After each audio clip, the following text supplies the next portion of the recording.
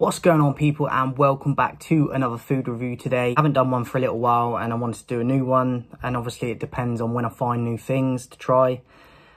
Little bit of a fun one today. Probably considered a kid's or a child's snack but I do like things like this sometimes and I'm, I'm a big fan of the normal ones anyway. Um, but they are new party rings chocolate.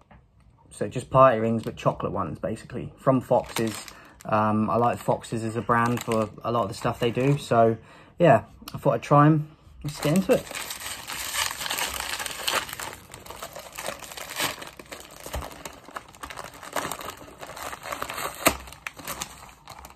So, your standard party ring, what you come to expect. Obviously, all chocolate though. So, no colours other than brown and a little bit of white.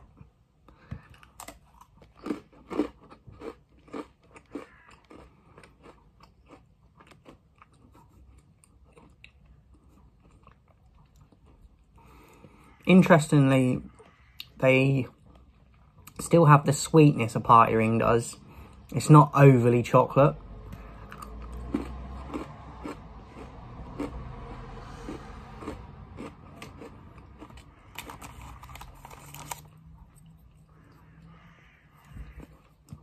It's not as chocolate as I thought it'd be, like cocoa tasting.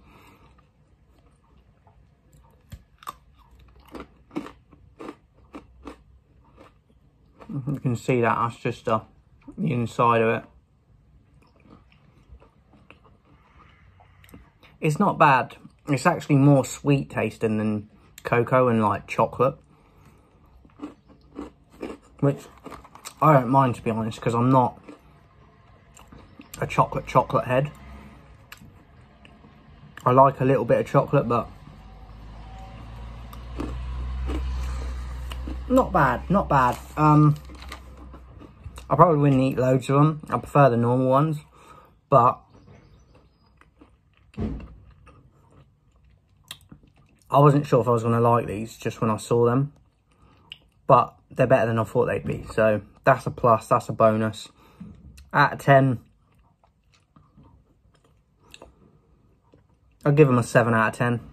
So party rings, chocolate guys, you see them out and about, and you like things like this and just sweet tasting biscuits, they're probably going to be a hit. Hope you enjoyed it.